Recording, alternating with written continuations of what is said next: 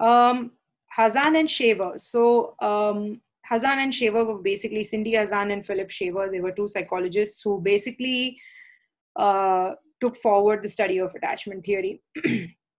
so up to this point, to let's say 1960s, 1970s, um, Ainsworth had only empirically um, proved that uh, Bowlby's theory of attachment is actually true and it's visible scientifically and it's measurable and it can be repeatedly measured over time. So it's something that's very valid. It's a very valid theory and it's been it's been shown time and again to have across different cultures as well not just in the states or in europe even in india even in africa everywhere all over the world there are universal attachment styles. And ainsworth was uh, the first one to actually prove that it it exists and it, it it's fairly similar.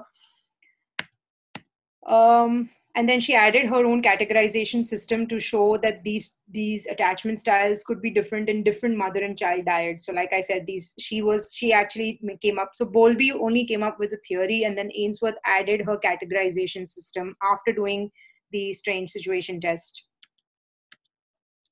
And then Cindy Hazan and Philip Shaver were the first researchers to actually propose that attachment styles in infancy could influence attachment styles in adulthood. So they were the first psychologists to actually say, okay, you know what?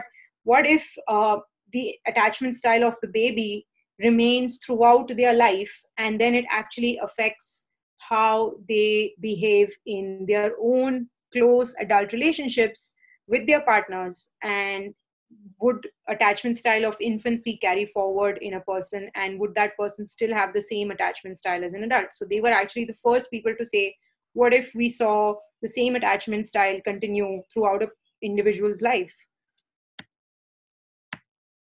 Um, so what they did was and the paper that i have uh, later on as an assignment is on this they formulated a love quiz which was basically a questionnaire on your attachment styles and uh, for adults. And uh, they could accurately predict um, the person's attachment style in close romantic relationships and then they assessed that person's attachment style with their own mother or their own primary caregiver. And they found that the attachment that the person had um, memory of like having a good attachment with their mother similarly had um, good attachment in their close romantic relationships as adults. So hazan and shaver actually started to see a link between how adults behaved in their romantic relationships and their attachment style to their own mother so this led to the revolutionary breakthrough that our first intimate relationship with our first caregiver, which is mostly the mother, actually can have a significant and long lasting impact on adult romantic relationships. So that's how this whole theory came about, which is used a lot today by psychologists all over the world that what's your attachment style?